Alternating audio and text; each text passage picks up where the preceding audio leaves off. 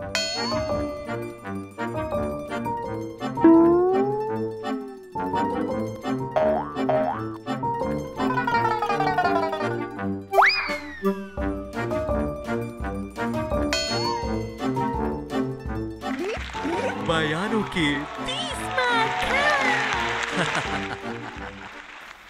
जी हाँ, आपने तीस मार्खा तो बहुत देखे होंगे, लेकिन आज हम आपको साल 2017 के कुछ ऐसे तीस मार्खा से रूबरू करवाने वाले हैं, जो अपने बयानों के चलते न सिर्फ़ सुर्खियों में छाए रहे, बल्कि उनके बयानों ने देश भर में कोहराम मचा कर रख दिया। नमस्कार, मैं हूँ निखिल त्रिपाठी थोड़ा सा छोटा थोड़ा सा मोटा, और अक्ल से एकदम तेज तर्रा। लेकिन कुछ लोगों से थोड़ा सा कम, जिनकी बात आज हम करने जा रहे हैं। अब सोनू भाई साहब की ही बात ले लीजिए। अरे वही, बॉलीवुड के सुरों के शहनशाह सोनू निगम। इनको तो आप अच्छी तरह से जानते ही हैं। इनकी नींद में खलल क्या पड़ा? इन्होंने अजान को ही मुद्दा बना लिया और बन बैठे तीस मार खा। और कर दिया ट्वीट, फिर क्या था? मच गया संग्राम और हो गया दस लाख का फतवा जारी। और आखिर में उनके सर मुंडवाने तक की नौबत आ गई।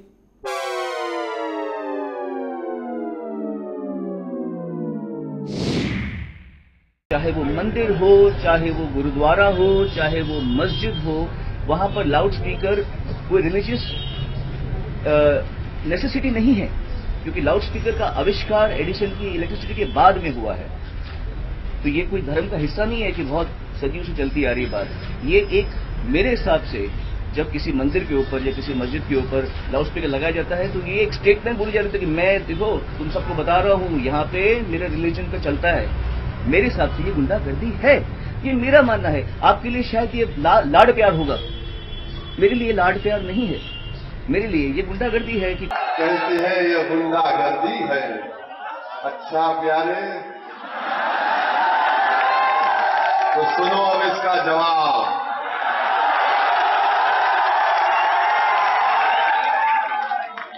अदा होती है दो मिनट के लिए।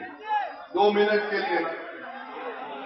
और इनकी नींद में खलल पड़ जाता है आजान ज़रूरी है लाउड स्पीकर नहीं इससे बढ़िया इससे अच्छा उत्तर अगर आपको समझ में नहीं आ रहा तो फिर मैं क्या कह सकता हूँ अहमद पटेल साहब ने यह बात कही है कि अजान ज़रूरी है लाउड स्पीकर नहीं मैं हिंदू की कह रहा हूँ आरती ज़रूरी है लाउड स्पीकर नहीं एक ही बात है आप बात के क्रक्स को समझिए आप घुमा फिरा के ना कहिए बात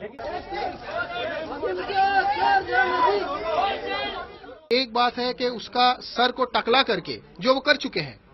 दूसरी बात है कि उनके गले में फटीचर से फटीचर क्वालिटी का जूता का माला। कोई ब्रांडेड जूता नहीं चलेगा। एकदम लोकल क्वालिटी का जूता का माला डाल के तीन नंबर उसे हिंदुस्तान के जितने 100, 125 या 150 या 200 जितने भी हिंदुस्तान के पॉपुलेशन है हर घर घर में जाके चाहे उसके लिए जितना भी दिन लगे हर घर घर में जाके अगर वो माफ़ी मांगे कि वो हिंदुस्तान के शान के खिलाफ बात किया है तो फिर ऐसा काम जो करवाएगा, या फिर वो खुद करेगा तो वैसा इंसान को मैं अपने तरफ़ से दस लाख रुपया इनाम दूँगा। तो सुना आपने, अब आइए बात करते हैं एक ऐसे मुद्दे पर, जो तो है आस्था का विषय। लेकिन नेता उस पर राजनीति करने से बास नहीं आते हैं। जी हाँ, राम मंदिर का मुद्दा जब से मुद्दा उठा है तब से लेकर अब तक इस मुद्दे पर अपने बयानों के ज़रिए हर कोई तीस मार्खा बनने की कोशिश करता है। लेकिन इस साल राम मंदिर मुद्दे पर अपने बयान के ज़रिए कौन कौन तीस मार्खा बने? आइए देखते हैं। अयोध्या में प्रभु श्री राम का भव्य दिव्य मंदिर बनने से दुनिया की कोई ताकत नहीं रोक सकती। कोर्ट में कहेंगे हमारा बिल्कुल कोर्ट में कहूँगा चलिए कोर्ट में कहता हूँ क्या परेशानी है? मैं कोर्ट में सड़क में एक ही बात कहने वाला हूँ दो बात नहीं कहने वाला हूँ। और नोट कर लीजिए सूर्य अपनी गर्मी छोड़ सकता है चंद्रमा शीतलता छोड़ सकता है हिमालय से उतरने वाली गंगा हिमालय को वापस जा सकती है। अयोध्या में प्रभु श्री राम का मंदिर बनने से दुनिया की कोई ताकत नहीं रोक सकती है। और आपको ये विवाद आपको विवाद इसलिए नहीं बढ़ाना चाहिए जो राम का विरोध मंदिर का करते थे अब वही राम भक्त होके कार सेवा होकर ईंटें लेकर के आ रहे हैं। राम जन्मभूमि पर राम मंदिर ही बनेगा और कुछ नहीं बनेगा। वही बनेगा। उसी प्रारूप में बनेगा। उन्हीं पत्थरों से बनेगा और उन्हीं की अगुवाई में बनेगा जो इसका झंडा उठाकर गत 20-25 वर्षों से चलते उस जगह पर सिर्फ़ राम मंदिर ही बनेगी, कुछ नहीं बनेगा। कौन है मोहन भगवत? आरएसएस के चीफ हो सकते हैं, सुप्रीम कोर्ट तो तुम नहीं हो। तुम सुप्रीम कोर्ट का फैसला तो नहीं लिखने वाले हो, मोहन भगवत। तुम सुप्रीम कोर्ट के चीफ जस्टिस तो नहीं हो। तुम हिंदुस्तान के बादशाह तो नहीं हो। तुम हिंदुस्तान के एक अदना शहरी हो, तुमको जितना हक है, मुझे भी उतना हक है। कैसा मोहन भगवत कह सकते हैं कि उस जगह पर सिर्फ़ मंदिर बनेगी। अगर तुम हमको डराने के लिए कह रहे हो तो याद रखो, हम डरने वाले नहीं है। तो सुना आपने, क्या बोले ओवैसी साहब? अरे भाई, ये जनाब भी कुछ कम नहीं है। भारत में रहते हैं और भारत माता की जय बोलना जनाब को कतई स्वीकार नहीं। और भगवत साहब पर तो इन्होंने अपनी पूरी भड़ास निकाल दी और बन बैठे बयानों के तीस मार खा। लेकिन जावेद अख्तर साहब ने भारतवासियों की लाज रख ली। राष्ट्रभक्ति के, देशभक्ति के सूत्र में आबद्ध करते हुए समाज के लिए संगठित गुण संपन्न देश के लिए गुण संपन्न बनाना है। और अपने देश को विश्व गुरु पद प्राप्त करा देना है। सारी दुनिया में भारत माता की जय हो। उत्स्फूर्त जय हो। ये हमको करना है। इसलिए रोज हम अपने सामूहिक संकल्प के अंत में भारत माता की जय कर। संघ में एक ही जय करा चलता है। भारत माता की जय, और कुछ नहीं। हम पूछना चाहते हैं आरएसएस के मोहन भगवत साहब से। कि उन्होंने नागपुर में कहा कि मुल्क में ऐसे लोग हैं वो नारा नहीं लगाते, भारत माता की जय का, उनको सिखाना पड़ेगा। मोहन भगवत साहब, मैं नहीं लगाता नारा, क्या करते आप? मेरे गले में छुरी भी रख देंगे तो नहीं बोलूँगा मैं। क्योंकि हिंदुस्तान के कॉन्स्टिट्यूशन में कहीं पर भी लिखा हुआ नहीं है, भारत माता की जय बोला हिंदुस्तान के हिंदुस्तान की एक स्टेट आंध्रा के एक शहर हैदराबाद, के एक शहर, उस शहर के मोहल्ले के लीडर उन्होंने ये कहा कि वो भारत माता की जय। नहीं कहना नहीं कहना इसलिए कि संविधान उन्हें नहीं कहता। संविधान तो उन्हें शेरवानी पहनने को भी नहीं कहता और टोपी लगाने को भी नहीं कहता।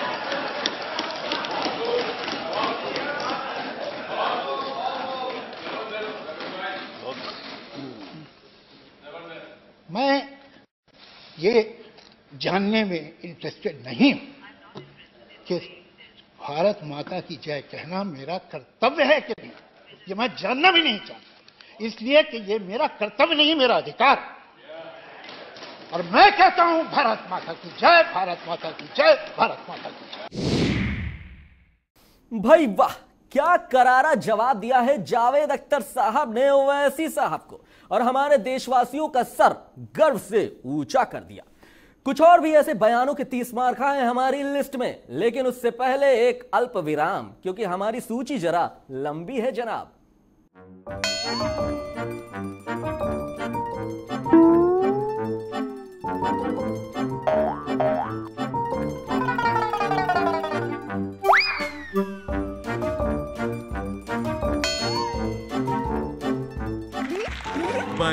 की।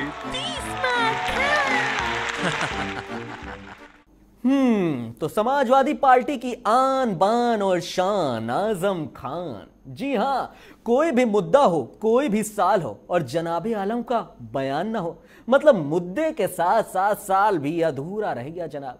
अपने बयानों से तीस मारखा बनने के चक्कर में आज़म खान साहब ने देश की रक्षा करने वाली सेना तक को नहीं छोड़ा।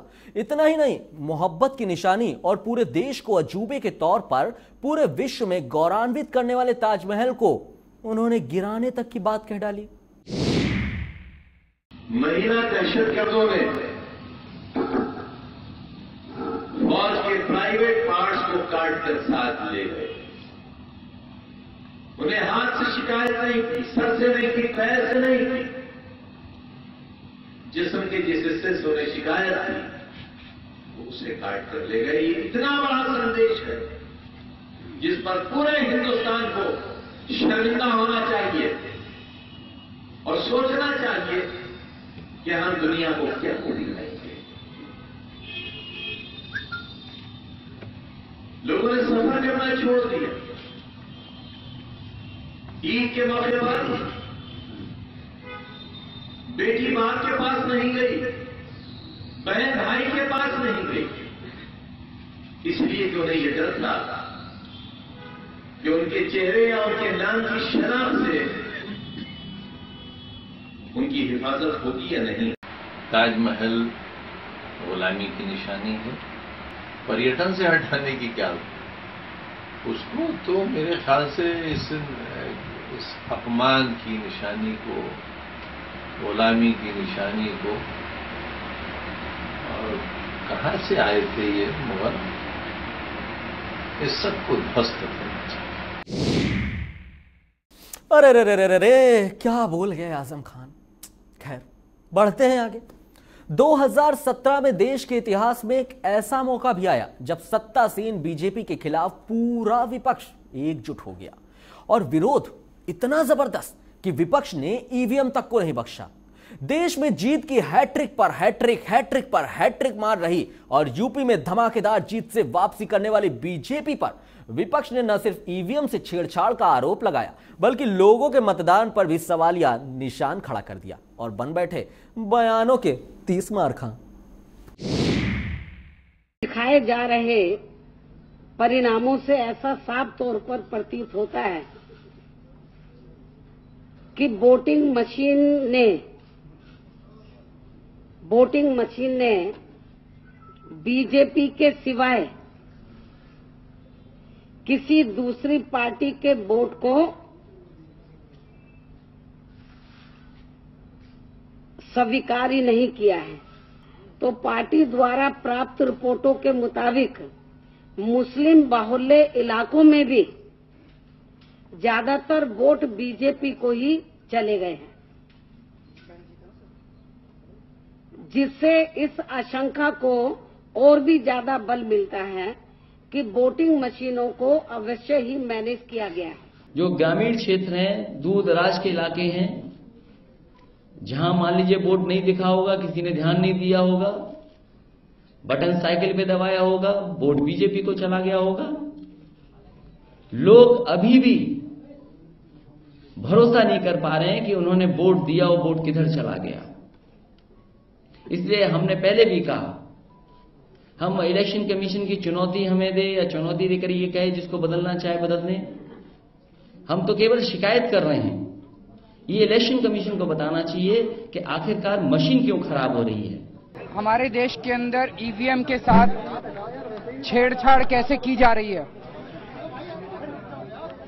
उन्होंने दिखाया कि कितना आसान है छेड़छाड़ करना और बहुत बड़े स्तर के ऊपर छेड़छाड़ की जा रही है। ये देश के लिए बहुत बड़ा खतरा है जनतंत्र के लिए बहुत बड़ा खतरा है और देश के हर नागरिक को इसके खिलाफ आवाज़ उठानी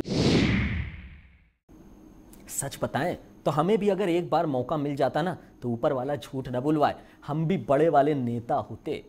हम्म। चलिए, बयानों के तीस मार्खा की लिस्ट में अब अगला नाम जो है, वो नाम दुनिया का सबसे लोकप्रिय नाम है। साल 2017 में पीएम मोदी के बयान भी खासा चर्चा में रहे और जिसने विपक्षियों को निशाना साधने का एक और मौका दे दिया। यूपी में चुनाव प्रचार के दौरान पीएम मोदी के कब्रिस्तान और शमशान वाले बयान पर जमकर घमासान हुआ। तो वहीं अपने बयानों से हमेशा चर्चा में रहने वाले बीजेपी के फायर ब्रांड नेता और सांसद साक्षी महाराज ने पीएम मोदी के बयान को हवा देते हुए कब्रिस्तान को खत्म करने की सलाह दे डाली। भाइयों बहनों, गाँव में अगर कब्रिस्तान बनता है तो गाँव में स्मशान भी बनना चाहिए। अगर रमज़ान में बिजली मिलती है तो दिवाली में भी बिजली मिलनी चाहिए। ने कहा है कि यदि कब्रिस्तान बने तो उसके बराबर में शमशान भी बने। यह मोदी जी का बयान है। मेरा कहना यह है कि अगर कब्रिस्तान सारे हिंदुस्तान में बनता रहेगा तो हिंदुस्तान में रहने की जगह ही नहीं मिलेगी। खेती के लिए जगह नहीं मिलेगी। तो मेरा तो केवल उद्देश्य यह था कि देश की ज़मीन तो बहुत कम होती चली जा रही है जनसंख्या बढ़ती चली जा रही है। और अगर कब्रिस्तान में हिंदुस्तान भर की ज़मीन चली जाएगी तो लोग रहेंगे कहाँ? तो वहीं अखिलेश भाई साहब भी कहाँ चुप बैठने वाले थे? गुजरात के गधों का हो रहे प्रचार का सहारा लेते हुए उन्होंने पीएम मोदी पर जमकर निशाना साधा और सदी के महानायक अमिताभ बच्चन से अपील की कि वो गधों का प्रचार ना करें। लेकिन पीएम मोदी सवा शेर निकले। उन्होंने गधों से प्रेरणा लेने की बात कहते हुए अखिलेश यादव को आईना दिखा दिया। क्या एक गधे का विज्ञापन आता है? बताओ गरीब लोगों, किसान भाइयों, एक गधे का ज्ञापन आता है विज्ञापन। हम तो इस सदी के बड़े महानायक से कहेंगे कि अब आप गुजरात के गधों का प्रचार मत करिए। हम इस सदी के सबसे बड़े महानायक से निवेदन करेंगे कि अब आप गुजरात के गधों का प्रचार मत करिए। और जिन्होंने ऐड देखा होगा, वो जानते होंगे। बताओ, कहीं गधों का भी प्रचार होता है क्या? अगर गधों का प्रचार होने लगा तो कैसे काम चलेगा? तो बताओ, गुजरात के लोग तो गुजरात के गधों का भी प्रचार करवा रहे हैं। और हम पे आरोप लगा रहे हैं कि हमने कब्रिस्तान और केवल उनके लिए काम किया है। ये सवा सौ करोड़ देशवासी मेरे मालिक है।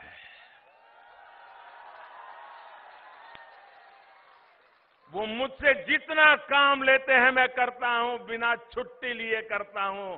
थक जाऊँ तो भी करता हूँ, कभी भूखा रहा तो भी करता हूँ, क्योंकि गधे से प्रेरणा लेता हूँ। और बड़े गर्व से लेता हूँ, ताकि इन सवा सौ करोड़ मेरे देशवासियों के लिए गधे से भी ज़्यादा मजदूरी करके उनके लिए काम आओ इस गौरव के साथ काम करता हम्म तो भैया, आप भी कभी गधे को आम मत समझना, उसे बगैर काम का मत समझना। बहुत मेहनत करता है वो, सबको प्रेरणा देता है वो। तो फिर क्या था? गधे से प्रेरणा लेकर हम भी तीस मारखा बन बैठे और करने लगे बड़े से बड़ा काम। लेकिन अफसोस हम गधा नहीं बन पाए और थक गए। थक के चूर हो गए मजबूर हो गए। फिर क्या था? दे दिया हमने उसे तलाक तलाक तलाक और शुरू हो गया संग्राम। कैसे? बताऊँ? हम्म, अभी नहीं एक छोटे से अल्प विराम के बाद।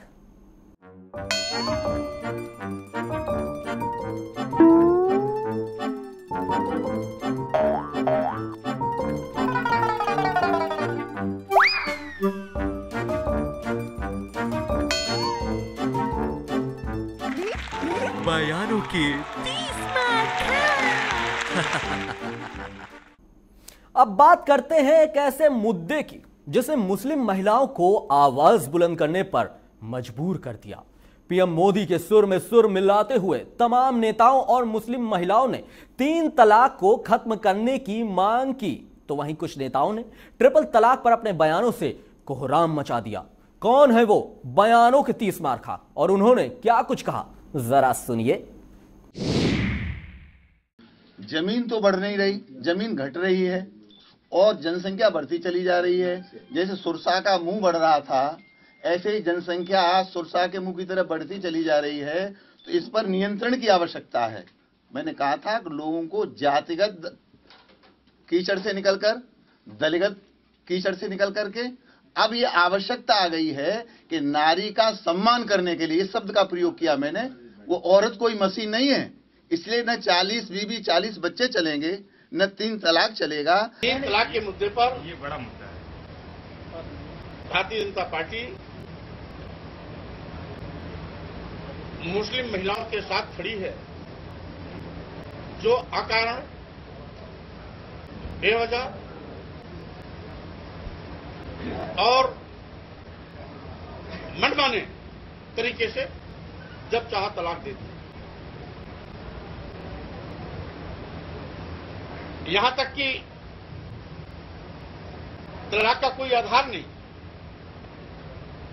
कोई अपनी हवस को पूरा करने के लिए लगातार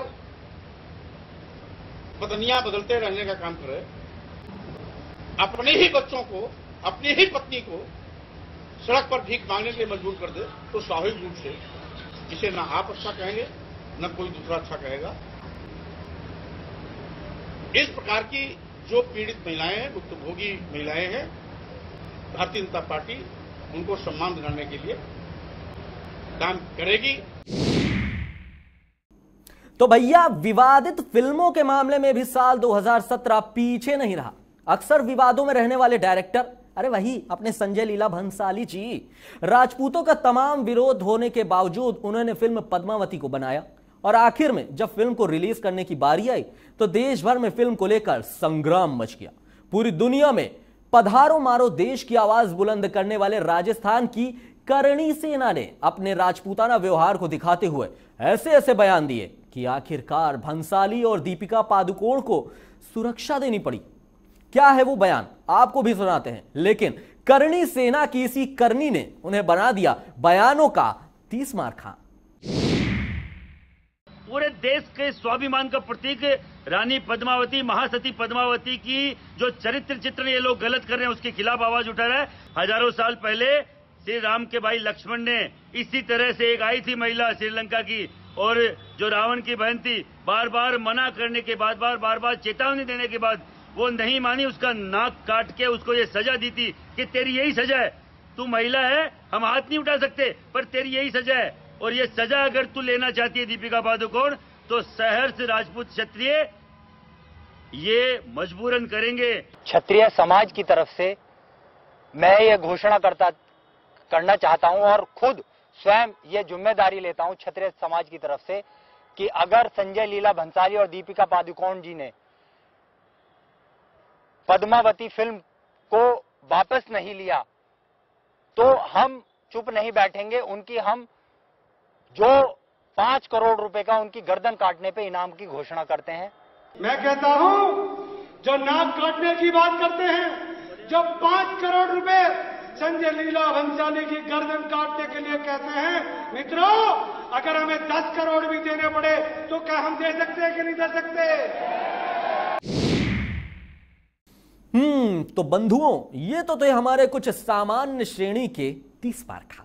अब आइए बात करते हैं बयानों के असली तीस मार खां की, जो कि हमारी सूची में पहले पाए दान पर हैं।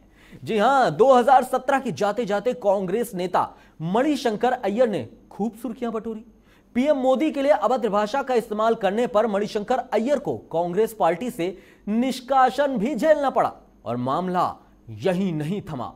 इसी बयान को लेकर उनको शर्मिंदगी भी उठानी पड़ी और आखिरकार बाद में अय्यर को माफ़ी भी मांगनी पड़ी।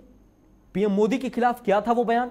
जिसने बड़बोले मणिशंकर अय्यर को बयानों का तीस मार खां बना दिया। आइए आपको सुनाते हैं। हिंदू कोड बिल जिसको कि हमारे अंबेडकर साहब ने तैयार किया था, उसको पाँच हिस्से में बांटकर, पाँच अलग अलग कानून बनाकर उसको उन्होंने पारित करवाया। मतलब जो अंबेडकर जी की सबसे बड़ी ख्वाहिश थी उसको साकार करने में एक व्यक्ति का सबसे बड़ा योगदान था उनका नाम था जवाहरलाल नेहरू। अब इस परिवार के बारे में ऐसी गंदे बातें कहें और वो भी जबकि अंबेडकर जी के के, के, के याद में एक बहुत बड़ा इमारत यहाँ उसका उद्घाटन हो रहा है। मुझको लगता है कि ये आदमी बहुत नीच किस्म का आदमी है। इसमें कोई सभ्यता नहीं है। और ऐसे व्यक्ति, ऐसे मौके पर इस प्रकार की गंदी राजनीति की क्या आवश्यकता है? ऐसा क्या? गलत बोले हैं आप। बिल्कुल गलत बोले हैं। जाइए, हम नहीं बात करेंगे। ऐसे ही नहीं, हम आपको बयानों के तीस मार्खा की सूची में पहले पायदान पर रखे हैं। हमको मालूम है, सब मालूम है। लेकिन अब हम बिल्कुल नहीं बतियाएँगे। अरे गुस्सा नहीं हुए हम। वो क्या है ना? समय समाप्त हो गया है। और कौन है बयानों के तीस मार्खा का असली सरदार? ये भी पता चल चुका है। तो बस, खत्म करते हैं और चलते हैं अपने अपने रास्ते। टाटा, नमस्ते।